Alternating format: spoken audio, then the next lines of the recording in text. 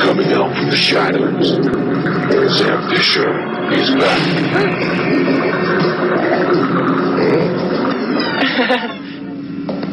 I'm looking for a job.